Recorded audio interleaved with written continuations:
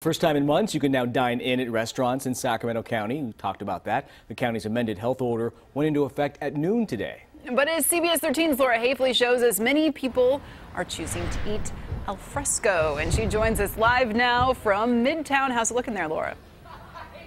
Well, we are really busy here in Midtown Sacramento. As you can see behind me, barricades getting set up to block off a part of the street. Let me explain to you why. So if you look right here, people are eating out on the sidewalk. Now, eventually, this sidewalk is likely going to be filled with even more tables. So to help pedestrians, I'm going to walk you down here a little bit.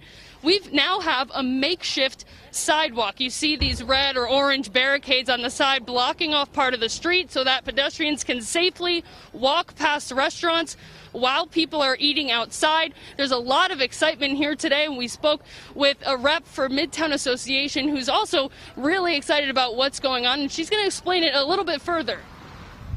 This is the beginning of a program called Farm to Fork Alfresco. The idea is that our local farm to fork restaurants they need more room. And so in order to do that, especially in smaller spaces like here at the Golden Bear, they need additional space out on the sidewalks and on the curbs.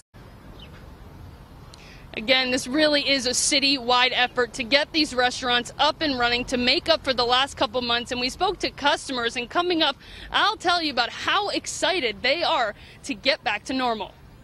Okay, sounds good. Thanks so much, Laura.